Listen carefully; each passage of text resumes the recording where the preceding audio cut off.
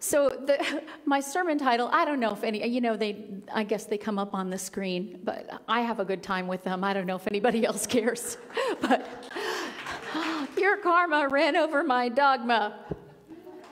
Or east west, which is best. So we talk a lot about oneness here. We talk and we use scriptures from all over and poetry, which tell me that's not a scripture, what we just read. Um, we use scriptures from all over, and there are some fundamental differences in the approach of different religions. But the longer I'm on this earth, the less I see the differences, and the more I see what's the same. And so that's what I wanted to talk about this morning this, this um, paradox that they, we can say fundamentally different things and mean virtually the same thing. That is the, the most important skill you will develop on the spiritual path is to be able to hold paradox and hopefully to hold it lightly. The paradox, like um, you are perfect and whole just as you are, right now, no changes. And there is this yearning, this imperative within us to evolve and grow and become it's both and, not either or. So, in Eastern religions, this is going to make you jealous, those of you who are brought up in any kind of um, fundamentalist Christianity or Judaism or Islam. Eastern religions don't really have a concept of sin. Can you imagine growing up with nobody telling you you're a sinner? Oh, yeah. And here's the thing on the Eastern paths, morality is assumed. Duh. You know, you don't need a tablet to tell you not to kill people or sleep with their wives or steal their cattle or run around telling lies about them. You know this innately within yourself. You know this. And that's assumed in Eastern thought is that morality, pff, that's, that's the given. And then you start on the spiritual path from there. And one of the things I think that happens in Western, in the Western world is, look, I, I'm, I'm following all 10 rules. Aren't I doing a great job? Um, you know, when really that's just the beginning, that's the tip of the iceberg. So, morality is just what works. It's basic logic, it's basic, um, the skill of living with other beings and taking up the same space. But the fundamental difference is that in Eastern philosophy, enlightenment is possible in this lifetime, you can be an enlightened being. And truth is already yours. You are already in Brahman, as the Hindus would say. Brahman is this love that we talk about, this one huge thing that undergirds and comes through and as and everything. Everything. It's everything. You're already there. It's the goal, and you're already there. You're on your way home, and you never left.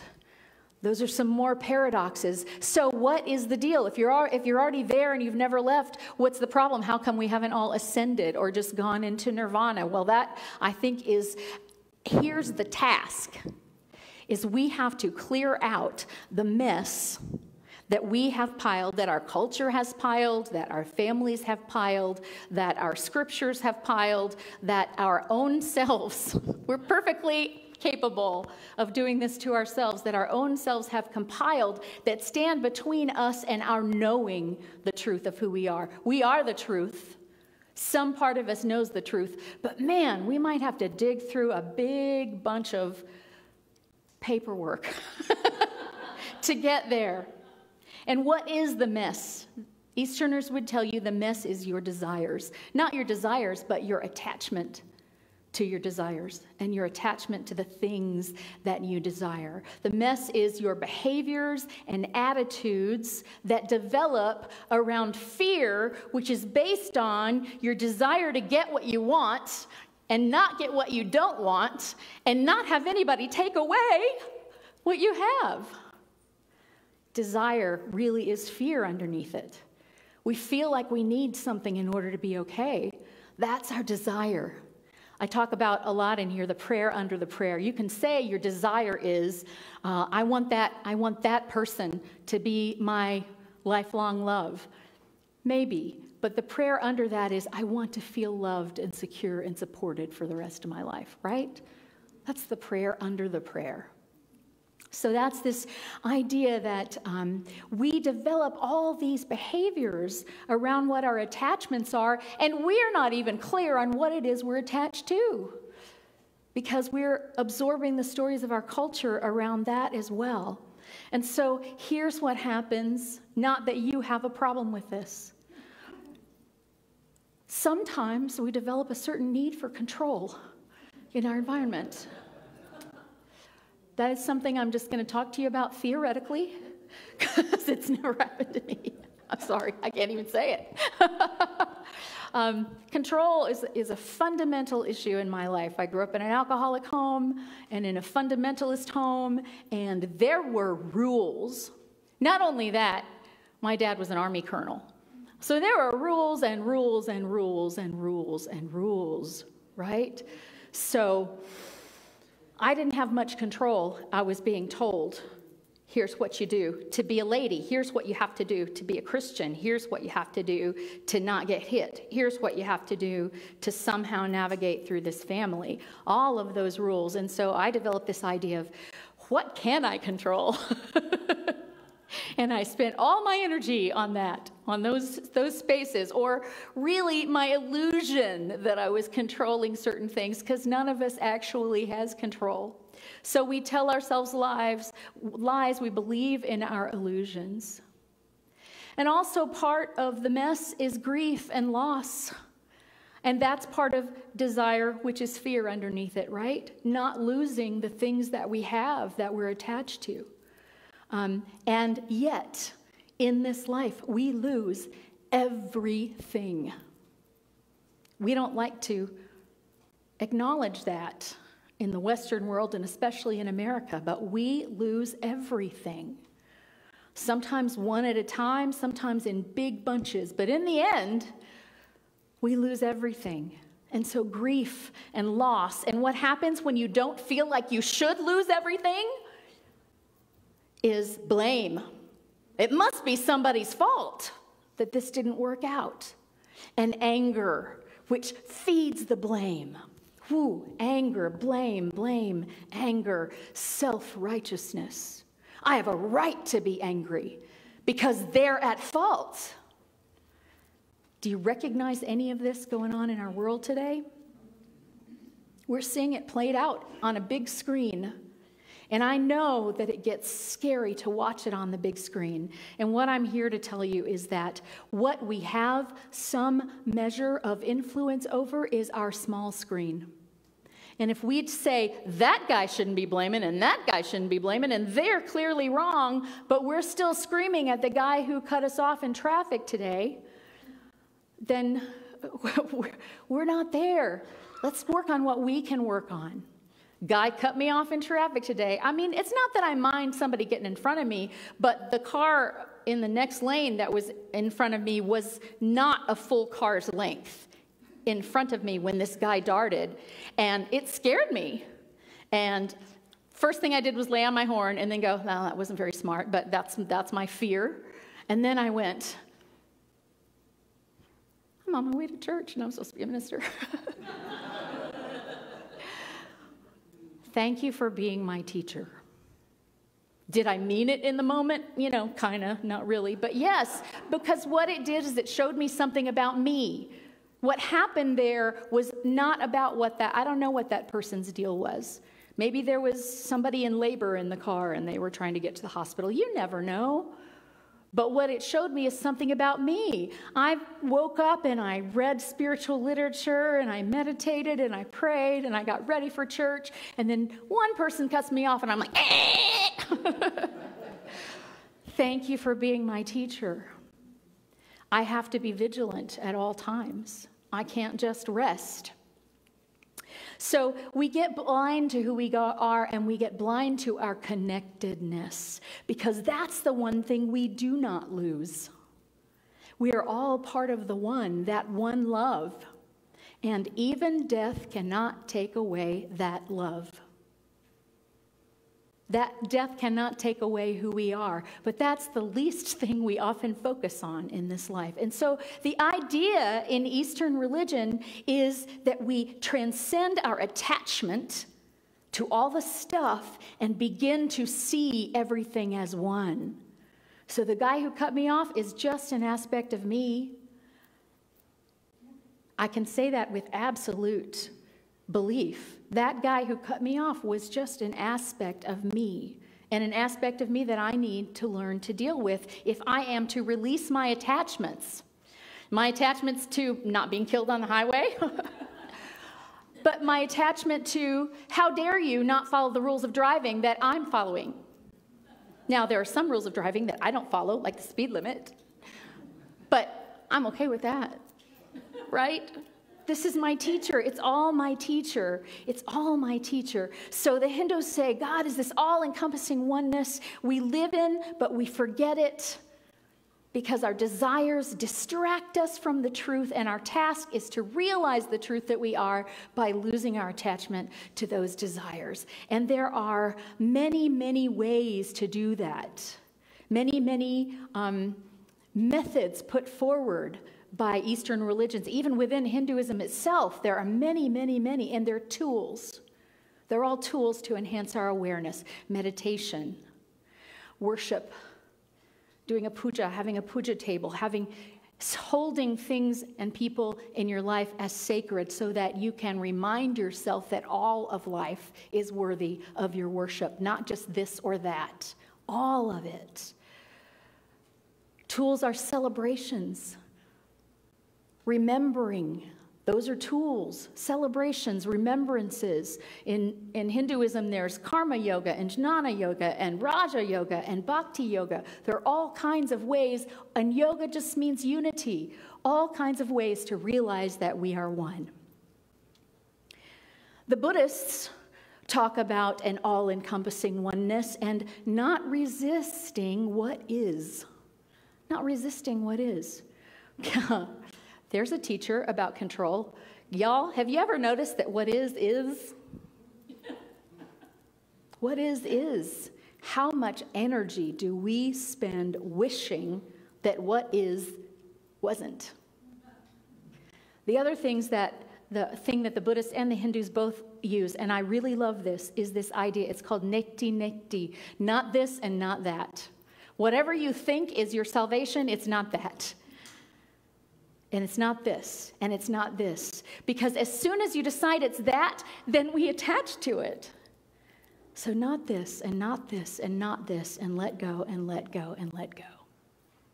Now, the, relig- the Western religions, the religions of the book, of the Hebrew Bible, the Quran, and the Christian Bible, those tell you, um, or the religions that have sprung up from those, not necessarily those books, tell us that we are sinful by nature, that we are separate from God, and we're trying to earn God's good graces. And if we do enough things right, we might get to a place that we call heaven, which the Hindus might call Brahman. But this idea, we're already in Brahman, we're already in heaven if we're aware that we're in heaven. So, but you have to do certain things to get there. It's narrow, it's exclusive, it's separate. And this idea of being good enough is impossible because you're sinful by nature, so you'll never be good enough. You still have to try, but the only way, this kills me, y'all. God, in God's infinite love and wisdom, cannot just forgive you. Somebody's got to pay the price. So he sent Jesus to pay the price so that if you believe that Jesus paid the price for you, you can now be in heaven. so the rules don't sin, which is impossible. So, next, okay, then be forgiven. That's the best you can do. And stay forgiven, which is hard to do if you keep, you know, sinning over and over again. You have to keep your awareness up. Jesus paid the price for you. And Less fundamental religions include some grace in there and some mystery in there. And the more fundamental include priests and rituals and rites and rules and hierarchies. And what happens is that we get the idea that our job is to do our best to please God, this judge that is judging us. In Judaism, we're considered sinful but redeemable. They are a religion of the book too, but they're open to discussion and interpretation. I love the fact that in addition to the Torah and all the books of the prophets and the Psalms and the Proverbs, there are also the Talmud, which is generations and generations of people going, What do you think that means? Well, I think it means this. Well, I don't think it means this. I think it means something else. Well, I think it means something entirely different from you two. And, they, and we get to look at all of that and see all the different ways it can be interpreted. Can you imagine that that was actually part of the book of your religion? It's pretty cool. And yet, it's still that idea that we're inherently sinful and we got to figure it out. There's also this idea in Judaism, in mystical Judaism, called tikkun olam, which is this idea that we are here to repair the world. We're here to repair the world. That's what the chosen means.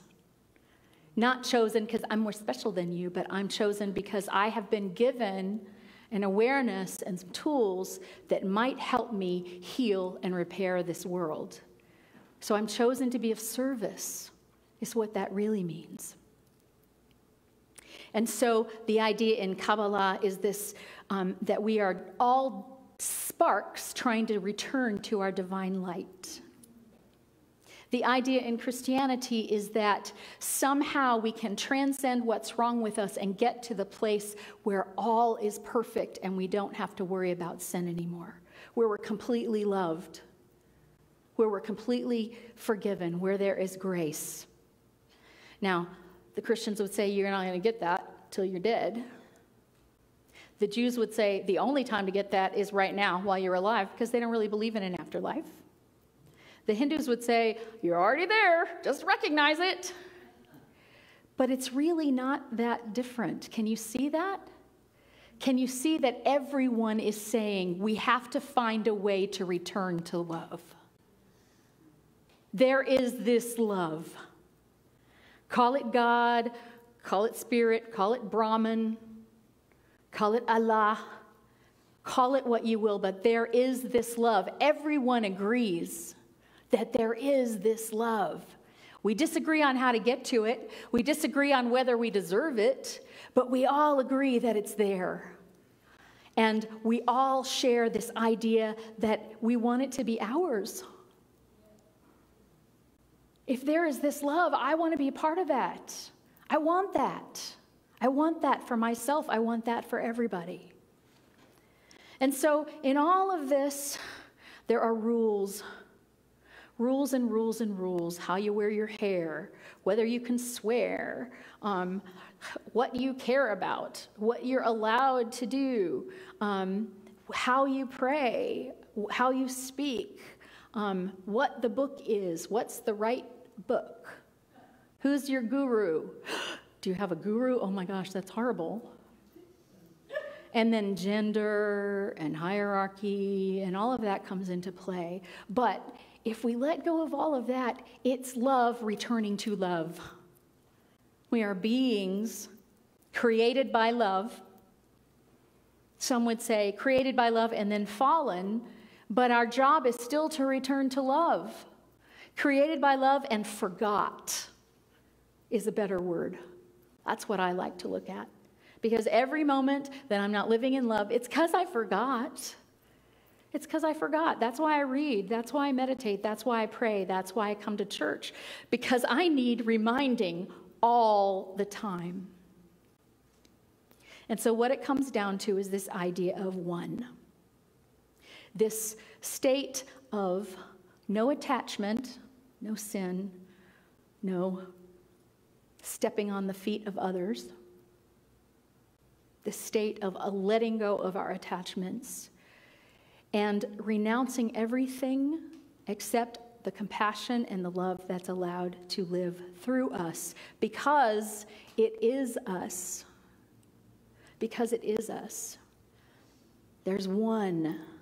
Is there a God or is there not a God? You know, you can believe in God and be a Buddhist, but you can also be a really good Buddhist and not believe in God at all. It doesn't matter because God is just a convenient word that we've given to something that we can never, ever, ever understand. I have a quote here, if I can find it.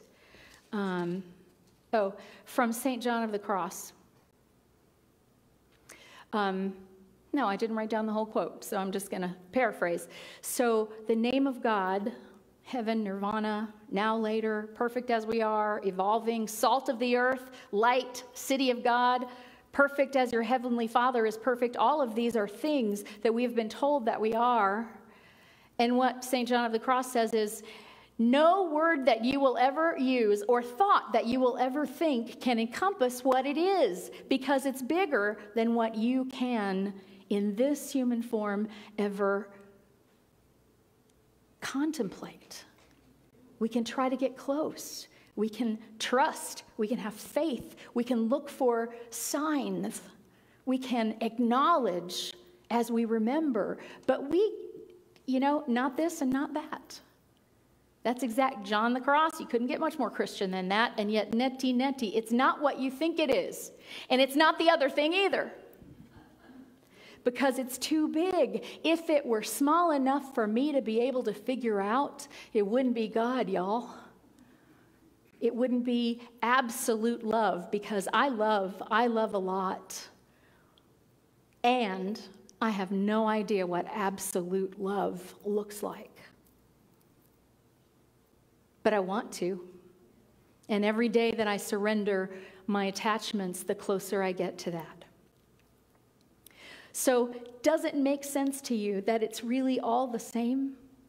That there, whether you call it nirvana or heaven or Brahman, it's all this idea that there is something that is so much larger than what we can possibly imagine, and we are that. We're trying to get back to that. And I would say that I'm much more Buddhist and Hindu than I am Christian these days, as much as I love Jesus, because I believe that it is already mine. You're already there, you're already home, you're already safe in your eternal soul, as the song says. There is no difference. None of it is the truth. Am I, um, am I Melinda? Is that who I am? What if that wasn't my name? Would I be less who I am without my name? And which name? You know? And God has the 99 names in uh, Islam. Which God? People think that Hinduism is a pantheist, is a polytheistic religion. No, it's one God represented in a million ways. Represented currently in about seven and a half billion ways because we are all individuated expressions of that God. And whoa, way into the trillions if we talk about everybody who's ever lived and who will ever live, individuated expressions of that one. Why would we think that any one or group of us could figure out the whole thing? And yet, that's the beauty. That's the final beauty. East, west, karma, dogma, love. Love. We're expressions of love. Our job is to return to love. Our job is to acknowledge love when we see it. Our job is to express love when we can. Our job is to receive the love that is there for us and if we can't, it's because there's something we have in the way of the love in us, not because the love is not coming to us. I promise you that. The love is here for you right now. So let's start letting go of those barriers in our minds that keep us from it. And acknowledge, you know, it's as simple as namaste. The divine in me, which I cannot even understand truly what it is, recognizes the divine in you. That's all it means. I recognize who you are. I recognize who you are, and I recognize that we are one. And I want to close with another poem of Rumi. out beyond ideas of wrongdoing and right doing, there's a field. I'll meet you there. When the soul lies down in that grass, the world is too full to talk about. Ideas, language, even the phrase each other doesn't make any sense. There's a field. I'll meet you there. Thank you.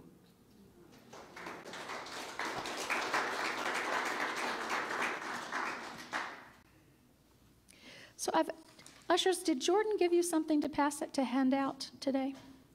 Oh, Perry's got him. Okay, awesome. Awesome. We'll wait till after. So um, I'm issuing a challenge this month for us to as, a, as individuals, and yet knowing that we hold that consciousness of prayer with each other, that every time we pray, we are praying together because there's no time or space to spirit. We don't have to do it at the same time every day. But to pray this ancient loving kindness meditation for the month of August and see what happens.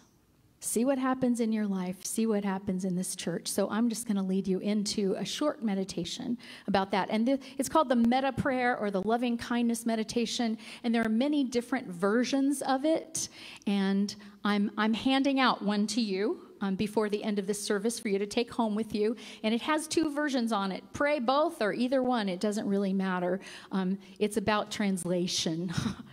is the reason there are so many different prayers, exactly how to translate these words, but it all means the same thing. So if you can just, in this moment, allow yourself to let go of whatever you feel grabbing onto you and just focus on this breath. Each in breath and out breath, you don't have to tell yourself how to breathe, it just happens.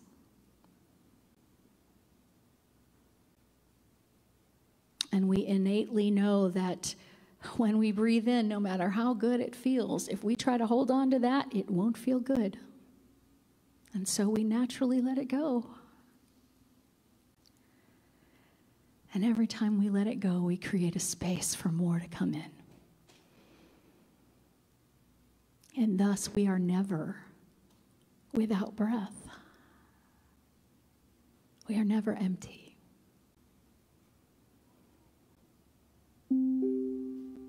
So simply allow that breath.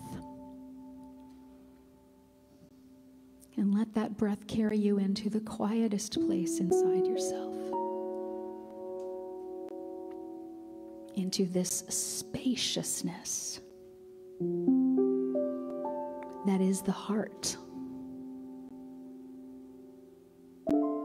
The heart of you, the heart of me, the place where we're all connected.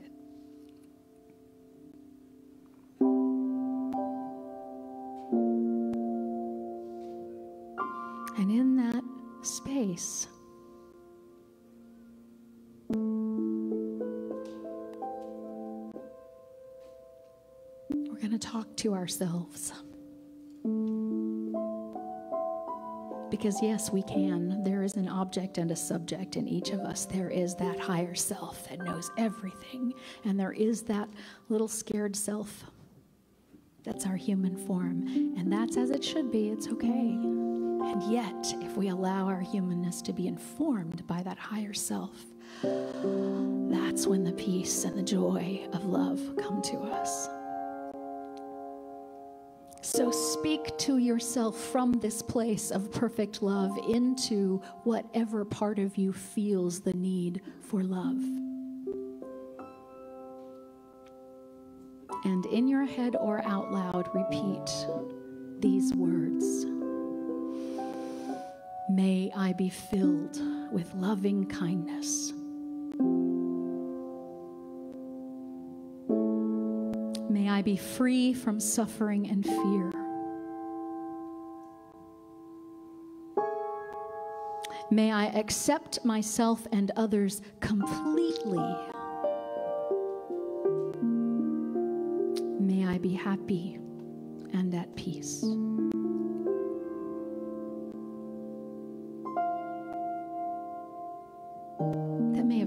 Up some stuff in you. That's okay. I ask you just in this prayer to invite in a willingness to be healed without understanding how.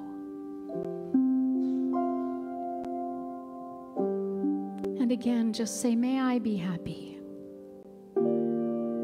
May I be filled with loving kindness. May I be free from suffering and fear. May I accept myself and others completely. May I be happy and at peace.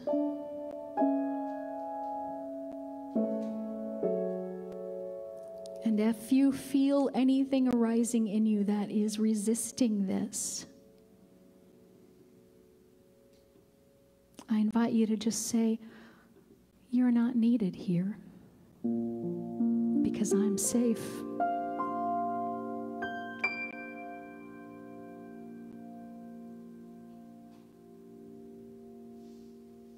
May my heart be open and filled with loving kindness. May I be free from suffering and fear. May I accept myself and others completely. May I be happy and at peace. And I invite you to turn that around. I may, my heart may be open and filled with loving kindness, and I think I'll let it. I may be free from suffering and fear, and why wouldn't I? I may accept myself and others completely. Nothing is stopping me. I may be happy and at peace. I have my complete permission.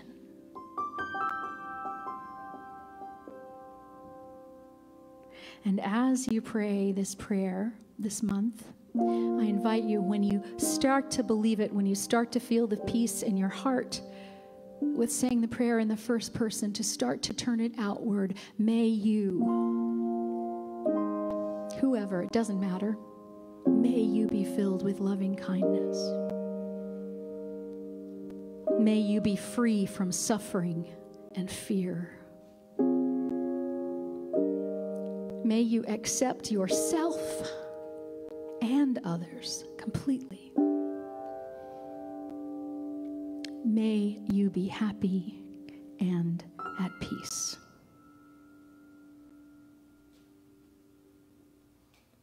My suggestion is that you start with someone you have warm, loving feelings toward that your heart is already open to, and then work your way out for, outward from there. Because the lesson is don't put anyone out of your heart. You're the only one that can prevent your experience of oneness. And so we expand the prayer may all beings be free from suffering. May all beings dwell in happiness. May all beings everywhere be at peace.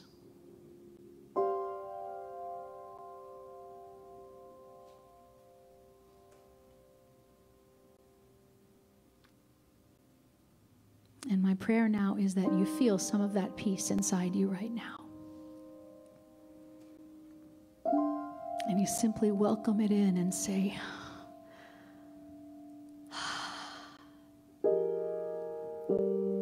and so it is. And you can return to this place at any point. And so it shall be.